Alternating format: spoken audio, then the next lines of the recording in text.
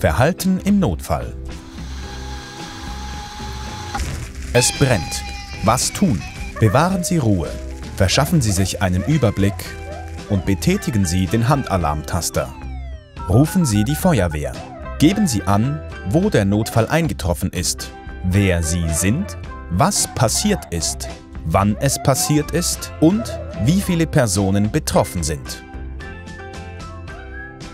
Warnen Sie Personen im Brandabschnitt und retten Sie sich entlang der Fluchtwege zum Sammelplatz. Unterstützen Sie ortsfremde Personen oder Menschen mit eingeschränkter Mobilität. Fluchtwege münden immer in einen sicheren Bereich, in einen anderen Brandabschnitt oder ins Freie. Schließen Sie beim Verlassen des Raums hinter sich Fenster und Türen. Die jeweiligen Brandabschnitte werden durch Brandschutztüren getrennt. Diese Türen schließen selbstständig und dürfen nicht verkeilt oder blockiert werden, auch nicht, wenn kein Notfall vorliegt. Notausgangstüren müssen frei zugänglich sein und dürfen nicht verschlossen werden. Fluchtwege dürfen nicht verstellt werden. Sie dienen der Flucht und Rettung von verletzten Personen und der Feuerwehr als Wege zur Brandstelle.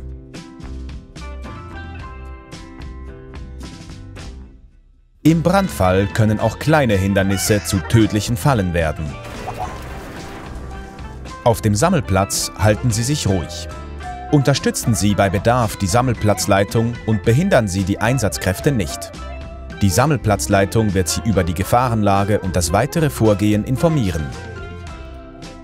Es ist wichtig, dass Sie gegenüber Dritten keine Informationen preisgeben. Verweisen Sie dafür auf die Medienstelle. Es kann sein, dass Sie den Feuerlöscher brauchen.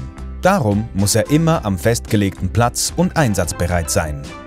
Löschen Sie den Brand nur, wenn dies möglich erscheint und bringen Sie sich nicht selbst in Gefahr. Üben Sie den richtigen Einsatz von Feuerlöschern im Brandschutzkurs der Fachstelle Risikomanagement. Für die Sicherheit und den Brandschutz am Arbeitsplatz sind alle mitverantwortlich. Auch Sie können dazu beitragen.